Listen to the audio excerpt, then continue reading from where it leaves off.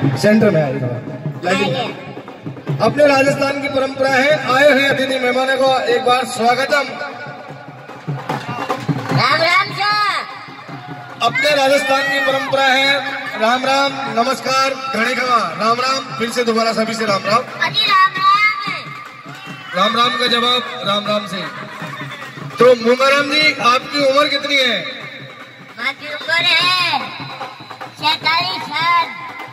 कल तो आपने पैंतालीस साल बताया था सैतालीस साल कैसे हो गया? अरे ऐसा चलता है भाई। छोटे मियाँ।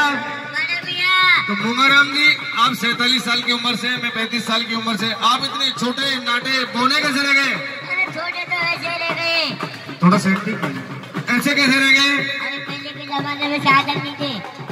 पहले के जमाने में साधन नहीं था तो आपको क्या फ़र्क पड़ा? कितना बड़ा हम चलते चलते गए। पहले के जमाने में साधन नहीं होने के पश्चात ये चलते चलते चलते घिस गए। आपने कुछ शादी आदि के बारे में सोचा? अभी तक मैं टक्कर की ना मिली है थोड़ा सा इधर देख लो।